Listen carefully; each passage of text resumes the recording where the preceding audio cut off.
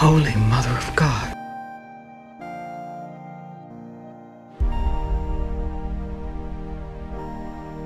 They're all in various stages of dehydration, any number of infections, probably have diseases we invented the cure for 100 years ago. No running water, God knows how they bathed or cooked food. All we found was canned food, Bibles. Stop one of the kids to talk. These kids weren't abducted. They live here. Their siblings, their parents did this to them. Hey, hey, stop! You can't drive through here! Those are my kids. What the hell are you doing with my children? Where's Bethany? Who?